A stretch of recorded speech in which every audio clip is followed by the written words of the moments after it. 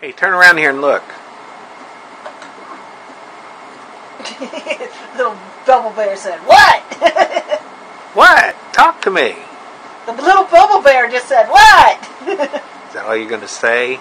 no, Well, it was a crazy day at work. And could you tell Bill to get me some more coffee? okay. Well!